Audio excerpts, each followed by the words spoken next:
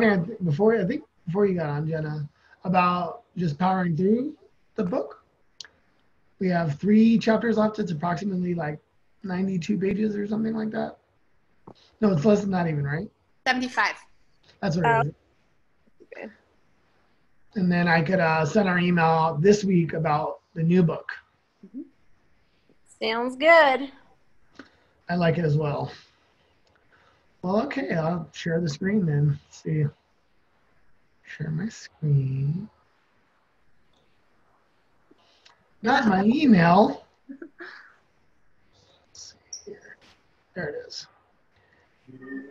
Hopefully this isn't too choppy for you guys. I know on the record, uh, sometimes I see it being kind of choppy, but all right. So we read 13, 14, and 15.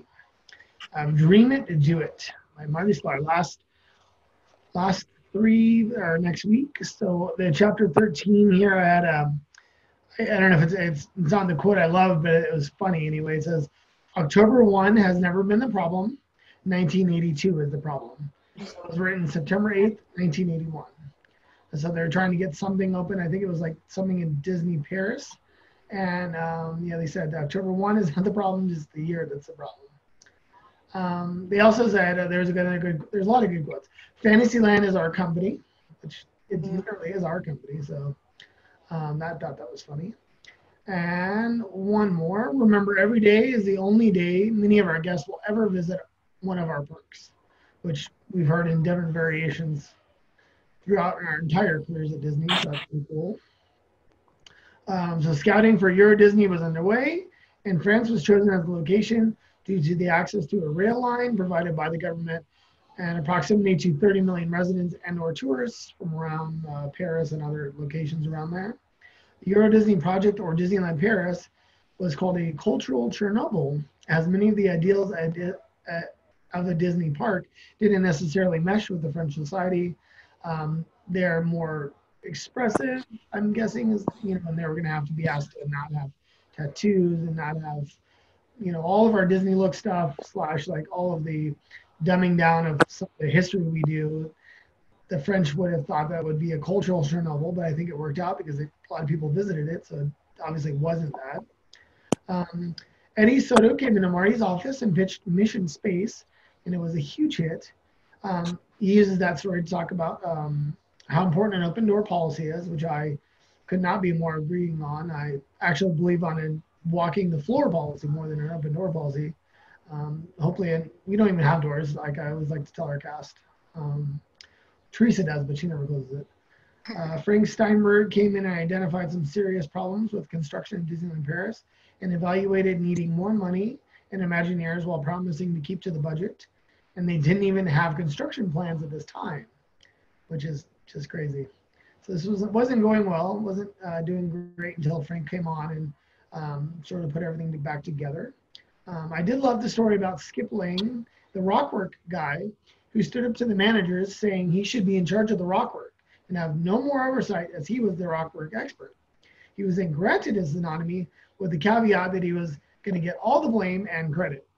This is one of those uh, be careful what you wish for things, mm-hmm. um, especially leaders, whatever we complain about will no doubt be um, charged with then fixing. So just be careful to uh, make sure that we don't um, ask for that. Let me stop this video real quick.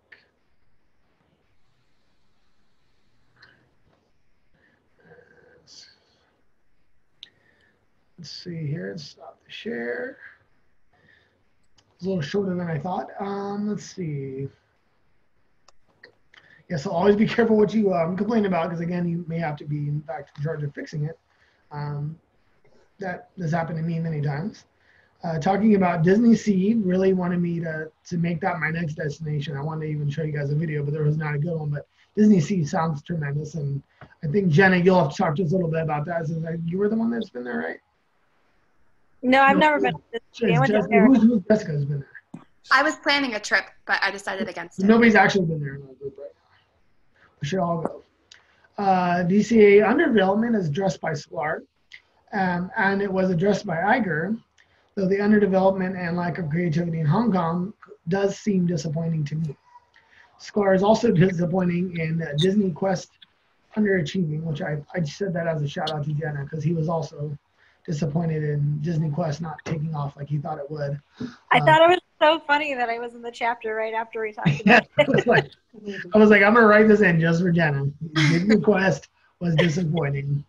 Um, yeah, so that's a little bit of the uh, breakdown there. What I don't know. Let's see where I wrote down first. Let's start with Judy. What did you think, Judy? Congratulations.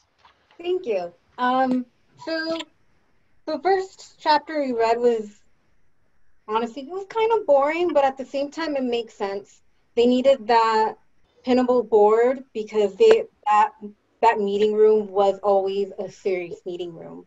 Um, for the second chapter, it's it's interesting in everything that happened, and I love how they talked about, you know, the story of Disneyland Paris and how it all came full circle. Um, in the chapter, he mentions that they wanted those square trees, which had involved an artist who inspired it. Just I don't remember exactly, but it's basically full circle. And I thought I loved how they used what was around them. You know, they have so much history, but they also had modern history to inspire them for the park. And then also towards the end of that chapter, it was interesting to finally see Marty's actual but not outright opinion between CEOs um, because he did mention that early 2000 era where build it small and build it cheap and what happened as a result and how he was basically praising the great job Iger was doing at the time and had planned to do to improve all those parks and all those cheap and small creations that you know it's it turned around you know. The first and only one that i was thinking because i only have experience with that is california adventure. And it you when you went into california adventure before the refurbishment it looked like that saying build it small and build it cheap because it was who wanted to spend half a day? Well and he mentions it too in the book. Same ticket price not even half the attractions. Like what? That's mm, so when it was refurbished, and I'm guessing a lot of the other attractions and a lot of other theme parks were or are being refurbished to, you know, get at Disney's caliber and the Disney brand. So I, it was interesting to see, you know, Marty actually have an opinion between the CEOs. And again, it was subtle, but you could tell, like, despite the respect he had for Eisner and his creativity and passion. It was Iger's leadership that he respected more than you know creativity. Um, speaking of creativity, it's not surprising that it's disappointing, but not surprising that Eisner's idea wasn't received well for Tokyo Sea. So he's like, eh, all right, well, I'm over it. Let's focus on Disney Paris now. You know, it's just like, you're the CEO. Everyone looks to you to create that brand. And the fact that, you know, but at the same time, again, you don't have video of it, but the way Marty described Disney Sea sounds magical. And that's because the Imagineers didn't have Eisner to be down to you know look over their shoulder and be like, oh, this is how I want it, this is how I envision it. So they were able to use their imagination and their actual talent as true Imagineers to create something great, you know? So that was kind of on par for Eisner, but at the same time, you know, knowing that people were going to be comparing your legacy and this is how you chose to react when one of your quote unquote great great ideas wasn't received well you know it's kind of disappointing. Um, chapter, what is it, 15?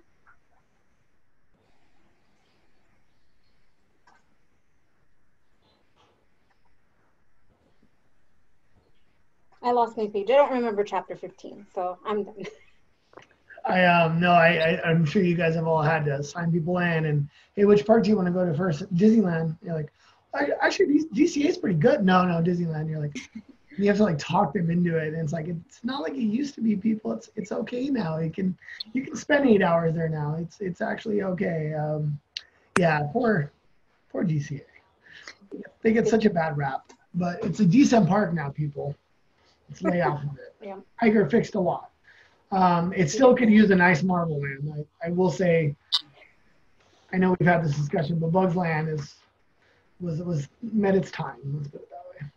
Uh, Jessica, I agree that Bugs Land had met its time. I still miss it because of my childhood, but that's okay. I agree that we have to keep moving forward. Um, so our sign of the week is going to be restaurant. Um, so you have the R, and then you put it on one side of your chin and then the other. So restaurant, restaurant. And it's kind of similar to restroom because restroom is right in front of you. We got restaurant. Um, I'm not sure if they're going to change that. I didn't do that research as I should have because um, it's the initialized sign, which is what a lot of ASL is trying to move away from of using the same letter because this is the R in the restaurant. So they're trying to get rid of using letters to kind of make it more of a sign that represents it instead of being connected so much to the English language. Um, not sure if that's going to change, but that's what I learned. So for the chapters, I also wrote down that um, every day may be the only day many of our guests will ever visit our parks because I think, especially in our park, we forget that a lot because um, we have so many pass holders. And so we think everyone who comes through our door is a pass holder and they know everything and you can just give them a little brief like, oh, you know, such and such, you're going to go left there. But you may have guests who have never been there before and they're like, I, don't know what that is. Using more descriptive landmarks or like you see a giant whale then you're going to turn right or kind of making sure to try and keep it as magical as possible because we don't guess, want guests to walk away and not feel that magic because we just assume everyone's a pass holder um, so i do love that quote i also love um, Randy Pausch I don't know if I'm saying his name right, but I love at the end of chapter 15 when it's um, it's not about how to achieve your dreams. It's about how to lead your life. If you lead your life the right way, the karma will take care of itself the dreams will come to you. I just, I really like that quote. I think it's, it really talks about living your life kind of to the fullest and making sure to really take the time to do things properly and correctly and then it'll work out how it's supposed to work out because i don't know if you know his story at all but um, i think we talked about it a little bit in bob Iger's book um, he did the last lecture series and he tried to be an imagineer i want to say three times and he got denied every time. And then he finally got accepted to be an Imagineer and got to do really cool magical stuff. I forget what projects he worked on, but it was it's all about pursuing your dream and just keep working and figuring out how to better yourself and then it'll work out how it's meant to work out. So i love that quote. And then just the fantasyland is our company. I like that one too. Um, which puts a little bit more pressure on us being in fantasyland um, because uh, the magic and all of that is so important and that's why i'm excited for where we're moving forward within our area um, and how it'll bleed into the rest of the park and just kind of the cool example that we're setting with that that's what I got. Hopefully sooner rather than later. We, yeah. We don't know uh, all the budgetary stuff on that yet, but I, I know we're still going to do it because it's needed. It's it's. Yeah. I mean, a, a lot of the money has sort of already started going into it. We just have to, you know, do the second part. uh, and uh, Jenna, what how, what, how do you feel about these chapters? Uh, there's a lot of good stuff. I really liked the quote wall. Um, the the quotes that stood out to me were definitely the same ones that all of you mentioned, but the one other one that I really liked was you can't test a Disneyland without a Disneyland. Because I think there are times where, for me in particular, I really like the research. I really like to like take the best educated guess. I want to know like the facts behind it, but sometimes you got to just take the risk and see what happens. And that that's definitely something that bugs me. If somebody says, "Well, I have an idea," and I'm like, "But I don't think it's going to work," because like they can't tell me the facts. But if something like that never existed before, like the facts don't exist. You have to have it happen first. So I, I just really like that concept of um, you got to let it happen. Uh, and then for Disneyland Paris, I did think it was interesting that uh, there was so much culture culture clash from what they were saying because from being inside Disneyland Paris, they definitely have wine. and I don't know when that when they the company as a whole decided i'm wondering if that was an Iger thing if he went against uh, eisner's theory of no alcohol and he was the one that put alcohol in the park i really don't know who when that when we decided to change that rule around, or when California Adventure then got alcohol either. I I don't know. Or did it open with it? Do you know? I don't know. Probably. I mean, Uh, I'm guessing it was just to save this DCA, probably. Yeah, probably. But the but yeah, because there's the other parts from hearing um, different people when they went over to um, Asia to open up. Uh, I had there was like two people that I knew that went over there to help open up one of the parks. But anyways, when they came back, they talked about so much about trying to make sure the culture was represented within the company. So I feel like, in a sense, the company learned as a whole from Paris because I didn't know that whole story that we were trying so hard to say, here's how we want to do it. And Paris was clashing against it because I do think we've changed that a little bit. Obviously, not with Disney Look, and there's a few other things that we kept. But I do think we have tried to incorporate other cultures much more than us trying to come in and say we're Disneyland and this is how we're doing it. So I thought that story was interesting, and I liked hearing his take on Eisner right after reading Bob Iger's book, where we hear from Iger's perspective everything that happened, and then um, I do think that Marty kind of agreed with with Iger in some way, shape, or form that Eisner did really well up until the end, where either the thinking got skewed with the let's do it cheap I don't know, but I did think that was interesting seeing both perspectives. Yeah, no, I agree. I, I, uh, I think it makes us all appreciate Iger a little more, right? Yeah. Which is, it, it is interesting how we did that. Now we're going to learn about like the early years of Walt in the next book, right? Is that correct? Uh, the next book go yes, it's the very early years of Walt, but it goes through like his entire life and then the leadership lessons. So it's kind of it's about the parks, but it's also about leadership. It's like 50-50. So we're going back in time every time we do yeah. Yep. I think it's also interesting how much money they poured into Disneyland Paris, and it's still considered one of those build it cheap, build it small sort of ideas. Because I think it was more in the like architecture and maybe yeah. the making it pretty that they poured so much money into it. But I know it's one of those parks that people wouldn't even put on their bucket list because they thought it was worth going to. Uh, the entrance to Disneyland Paris is gorgeous. So I thought it was interesting that you're talking about how how much time and energy they spend making because that, that's something that stood out to me because it's really pretty and you did feel get that like warm feel. And when I went, it was like about 35 degrees outside, so it was cold, Yeah. but you feel that walking in. So I really did like that whole piece of it.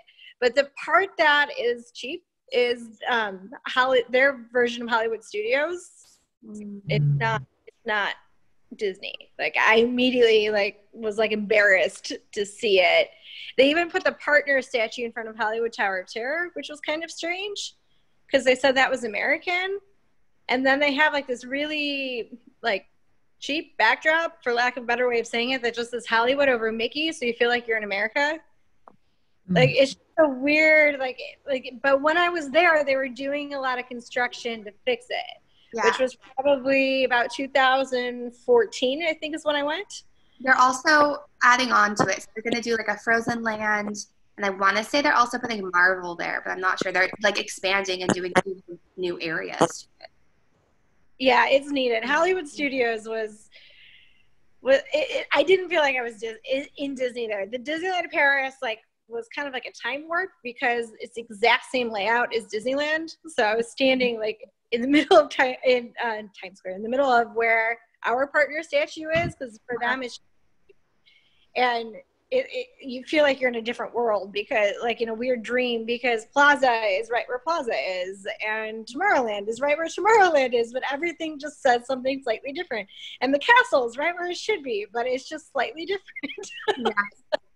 It's very interesting. Hmm. I also thought that there was like the weird discussion about the hotel entrance being right next to the exit entrance for Disneyland Paris. Mm-hmm. How yeah. does that feel in practicality?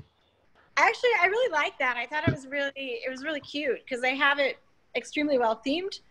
Um i can't really like fantasyland themed i guess is the best way of saying it but they have like a big time clock on the front of like the hotel. So you kind of feel like you're just like in the disney village like walking in but it's because it's so well themed that um i actually like the hotel where it was. It was just Hollywood Studios. That was the one thing about Disneyland Paris that I, I just did not like. Ratatouille ride was very cute. Like anything that was new was really cute, but you could see immediately the new thinking versus old thinking. So there's just parts of the park that were just yikes. Like I think um, the the whatever we call it now, the Hollywood Studios in art in Florida is actually usually everybody's worst park as well. It's definitely mine. Like I, I like all three of the other ones pretty equally, and then I'm like Hollywood Studios. Yeah. Have you been there since they did the Toy Story Land No, and the Star Wars? Okay.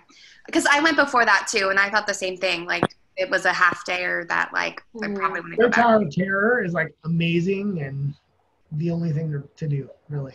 I don't do drop Lots of rides. roller coaster too. Yeah. Well, the Indiana Jones. I guess there's three things. The Indiana Jones. Okay, I'll give them the Indiana Jones. The stunt show was fun. yeah, that was cool. It was almost like what the original like concept was. Like let's show how movies are made. You know, kind of thing. hmm I find it interesting to see what gets adopted into different parks and like which park it goes to. Because they were talking about how that stunt show came from Paris, which I didn't even know. And then they dropped it into Hollywood Studios. So it's really interesting to hear which park had it first and then where it went after that. yeah, I, I think um, Cars is not replicated. The Radiator Racer Springs is not replicated anywhere else either, right? uh, Disneyland Paris has a backdrop. They have a backdrop. I can I, I gotta find the photos. I had to take because at the time for us, Cars Land just opened. Mm. So when I went over there, or it was open for like two years. So when I went over there, like we were like, oh look at they have like a Cars Land on the map. We have to go see it, and it was. it was. I think they're adding new rides in now, if I remember right. I think that's one of the upgrades that they were going to start. They put in like the Tomato ride, or I, I forgot what it was, but they were putting or Luigi's. That's what it was. They were putting Luigi's. Um, but the they have a um, the cozy cone was like the size of my hand, like it was just it wasn't. It's not. We the whole time we were in Hollywood Studios in Paris, we just laughed. Like it was just. Like I said, Ratatouille was super cute. That's the one thing in the area that we are like, wow, they did a really nice job. But that was the brand new ride. so, and Finding Nemo, the right, the wait time for that was 200 minutes. So I never saw that one because we weren't going to wait. Um, so I don't know how that was. Their Tower of Terror is the exact same one that we had in California Adventure. Um, before, obviously, they switched it over, but it's the exact same one. There's no change to it at all.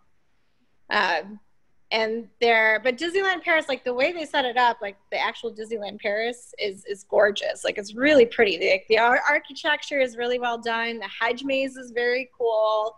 Pirates of the Caribbean, like the, their costumes, they literally legit look like they just walked out of the movie. Like their costumes were amazing. That's cool.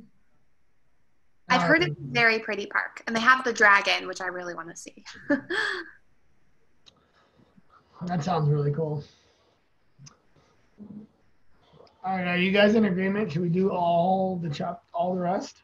Let's finish it off. Yeah. Do it. 292 to 368, so 76 pages. It's not too bad. Has like documents and stuff in it too. That Yeah. Yeah, and there's a little bit. Of, I don't know if the pictures count for pages. the pictures aren't counted in the page count because I, I checked that. Well, at least I'll have an easy slideshow for you guys this week. These are much easier than actually finding a YouTube video. All right, well, that sounds good to me. Does anybody else want to share anything? Wonderful. Okay, I'm also going to send out the email about the new book as well this week. I keep forgetting the name. Jenna, help me out. Uh, how to be like Walt. That's it. Why is that? That's easy to remember. I think I would, but I haven't. All right, how to be Are like. Tara and Teresa still working? Do you guys know more than I do on that? I'm not. I know she was last week. She's working from. Hey, I do know. Yeah, that. So yeah, she's still working, but I don't know anything else. It's just it's you know good good to know that they're still there because there's hope that we'll go back soon. I don't know, man. This is like Yeah. this- Fading again after Hong Kong today, but we'll see. I know. And then Florida is having more cases. I bet they're going to shut down again soon. So Are you kidding? It's Florida. that, Florida won't shut down. They don't I don't know why, but I feel like if if they're if they successfully open, we would have opened sooner. But then Their cast members over there, like, there's so much that's coming out. Like, did you see the video of the girl who picked up the duck? no. Oh, No. that was all night. Huh? No, she like picked up the duck and then had people pet the duck. What? No. I And she did a TikTok about it. She put it on TikTok and was like, she picked up the duck. and She's like, I'm here for the ducks. And then like it was during the cast member preview, and so people were petting this duck, and I'm just like, No, my cousin was hospitalized for four weeks because uh, when she was like 12, because she decided to take care of a baby duck, and they had gave her some weird disease that she literally was hospitalized for four weeks. After that, like you, ugh, you just don't touch that stuff. It's, no, they're wild animals, and we all sup- like protect them. Yeah, No, they're are very Just let our cute. Kids run around after them. But- they're but very cute. poops. Well, the uh, the one day we were opening Plaza Inn, and this the literally the rope dropped. Like the guests weren't even in the park, and it wasn't even a busy day. Where they're like, you know, they're kind of trying to rush. Like it was like super chill. The rope dropped. We're not even like technically really open yet. And the very first guest uh, comes up with her eight year old daughter, and her eight year old just picks off this mama duck. and the entire roster was like, put the duck down. and then we had to like apologize for yelling at her because we're like we all felt so bad because we all immediately had the same reaction. And her mother's like, Well, it's just a duck. We're like, what are you doing? Oh, jeez. Crazy people. All right. Well, I guess I'll see you guys the same time next week then. Sounds good. Sounds good. same All right. time, same place. all right. And last chapters. All right. See you guys soon. Yep. All right, bye. Bye.